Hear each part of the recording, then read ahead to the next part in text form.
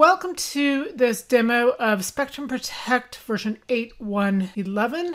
I'm going to be demoing how to use the new S3 API to back up different applications data via S3 to the Spectrum Protect server. In this case, I'll be using an AWS client to back up some files to Spectrum Protect.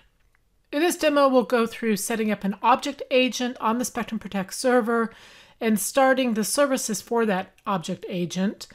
Then I'll register an object client, and I'll do that both from the Operations Center as well as I'll show you how to do that from the command line. And then from the S3 client application, we'll go ahead and register the Spectrum Protect ID and secret access key. We'll create a bucket to use with Spectrum Protect, and then we'll go ahead and actually copy files over from AWS to Spectrum Protect using the S3. I do want to be clear that this function allows applications to send data to Spectrum Protect via S3 to be protected. This is different from the S3 support we have for writing data out to Spectrum Protect container storage pools that are in the cloud. So with that, let's go ahead and get started. First, we're going to do a one-time setup of the object agent, which is a piece of proxy code that allows the S3 clients to send data to Spectrum Protect to be managed. So the object agent is the gateway code that translates the S3 protocol into commands that Spectrum Protect understands. To create an object agent, go to Servers, select the server that you're working with. Click on Object Agent on the left-hand side and go ahead and click Add. We'll give the object agent a name S3 agent. We'll keep the default port of 9000 and we'll go ahead and click Add. Now you will want to copy down this additional configuration step because you will need to go out to your Spectrum Protect server and do a one-time run of this command to start the services that are needed to support the object agent so it can receive the S3 protocol commands. From the instant directory on the Spectrum Protect server, you're going to see a directory called S3 agent that was created. So if you change into that directory, and if you issue an LS, you'll see all the security related info and the configuration files. We'll paste the commands that we copied when we created the storage agent inside of the Operation Center. And this is going to set up the object agent services inside of the Spectrum Protect server operating system. Now you do need to be super user in order to run these commands. And now you can see that the object agent is running and ready to accept requests from an S3 client application. And remember, there's going to be one agent per Spectrum Protect server. Now we're going to set up an object client inside of the Operations Center. And remember, you can have multiple object clients per Spectrum Protect server. So click on Clients and then click on Add Client. Choose Object Client and then hit Next. Choose which Spectrum Protect server you want to work with. Click Next. We're going to give the client the name S3 CLI. You can add in optionally a contact name and an email address. Go ahead and click Next. You're then going to choose your domain, and we're going to utilize the S3 standard domain. Go ahead and click Next. And then we'll choose the default at-risk settings. Click Add Client. You need to save off this ID, secret access key, and the certificates because this is going to be the only place you see this secret access key. If you lose it, you will have to regenerate it, and we will show you how to do that. So go ahead and click Copy to Clipboard, and then click Close. You can see our new S3 client listed here. If you were to lose the certificate, if you double click on that and then go into Properties, if you scroll down to the bottom, you'll see this regenerate credentials button. And if you click that, it will prompt you to the fact that if you do this, it will overwrite the previous keys. So go ahead and say yes. And now once again, you'll need to copy down these new IDs, access keys, and certificates. I'm not going to show you how to set up the AWS command line interface to talk to Spectrum Protect via S3. This is just one example of an application that can take advantage of this new Spectrum Protect and S3 portal. One thing to know is in our Knowledge Center documentation, we talk about what API calls and parameters we support, and these include things like object puts, gets, and deletes, as well as multiple part objects and listings. But we don't go beyond this normal I.O.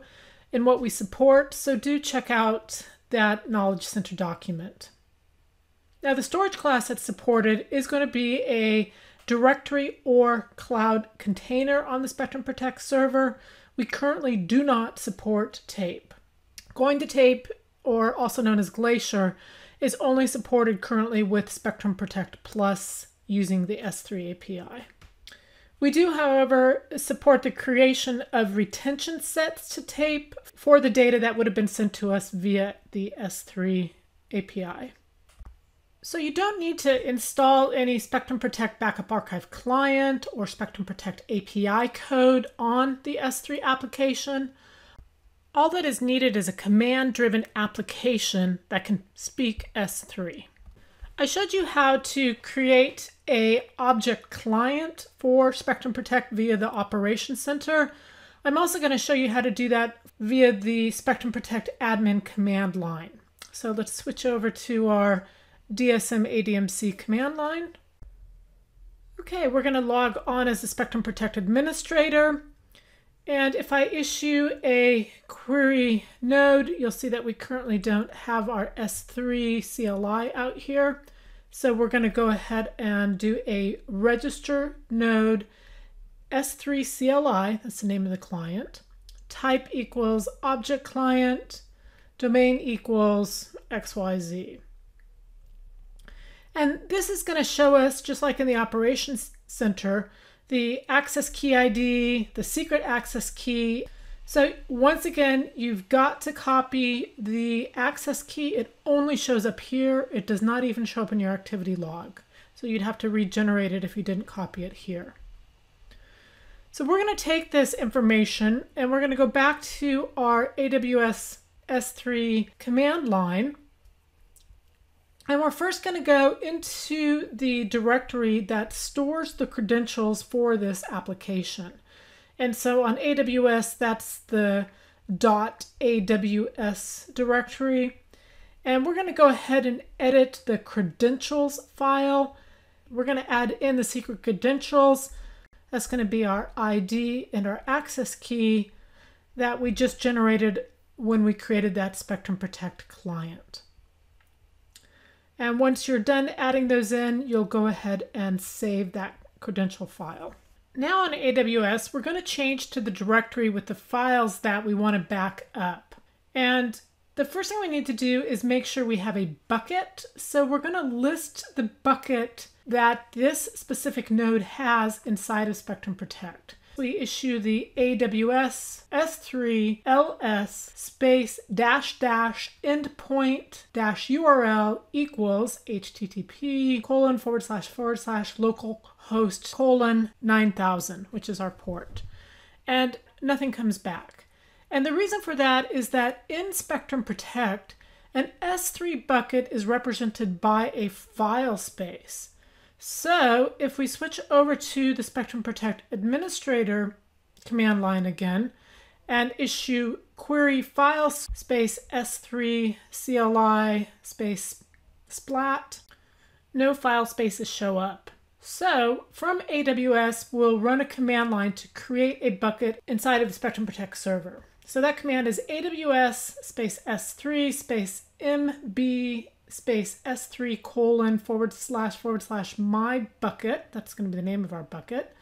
Space dash endpoint equals, and then that same endpoint as last time. Now, if you go back to Spectrum Protect and issue that query file space S3 CL splat command, you'll see that we have a file space called my bucket, which is going to be type equals bucket. Next, we're going to use the S3 API to copy a file from AWS over to the Spectrum Protect server. We're going to start with a 100 byte file by issuing the AWS S3 space CP space the name of the file, which is b100.txt space S3 colon forward slash forward slash my bucket space dash dash endpoint equals and then our same endpoint. Back on the administrative command line, if you issue a query occupancy S3 CLI space splat, you can now see the file that we just backed up. And you'll see the number of files listed as one. Now this is a backup. We do not support archives via the S3 API currently. Okay, and back on the AWS, if you issue AWS S3 space ls space S3 colon forward slash forward slash my bucket space dash dash endpoint equals, you'll see that file that we just backed up as well.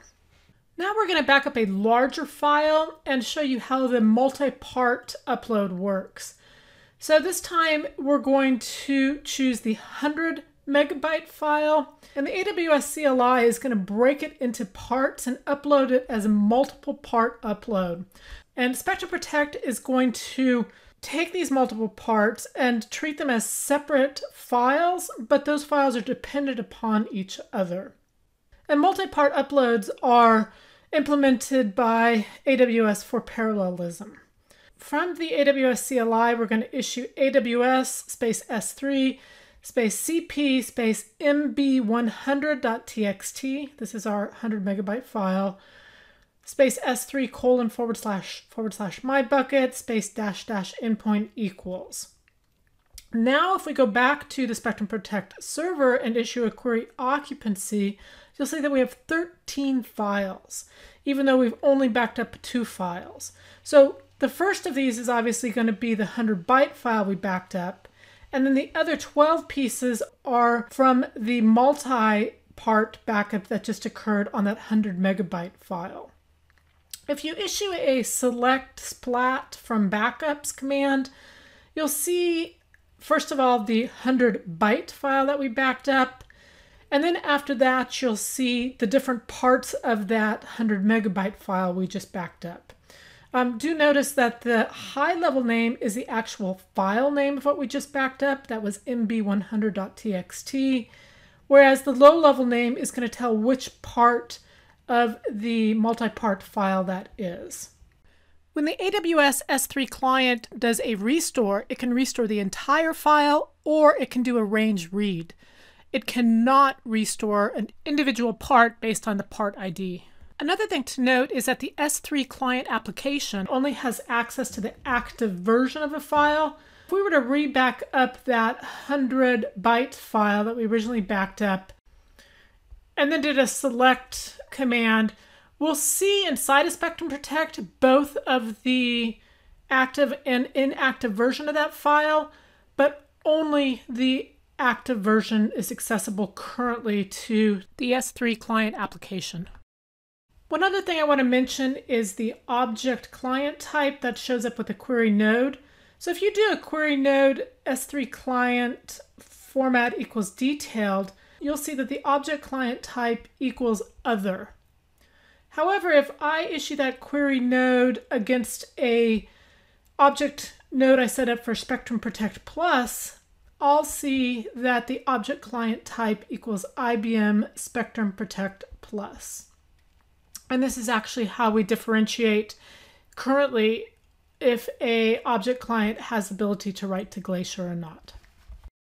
Another thing to note is if you do have Spectrum Protect node replication turned on and are replicating the container storage pools where you're backing up this S3 application data to, if your Spectrum Protect server fails and you need to restore files from the secondary target Spectrum Protect server, you will have to update the S3 client application to point to that new server because it will not automatically fail over.